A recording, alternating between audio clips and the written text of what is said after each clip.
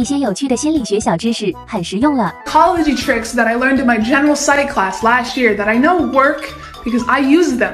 You can tell which one of your friends likes who by just paying attention a little bit more. If you're in a group and something funny happens or somebody tells a joke, people tend to be laughing while looking at the person they like most. I also want to apologize in advance if you do this and you notice that nobody's making eye contact with you. This last one helped me out a lot when I worked in customer service. If somebody is yelling at you or being a dick, just be like, um, excuse me, you have a little, uh, you have a little something in your teeth. This makes them feel very self-conscious and it stops them in their tracks every time. If you're walking and you're in a hurry, just stare straight ahead at where you're going.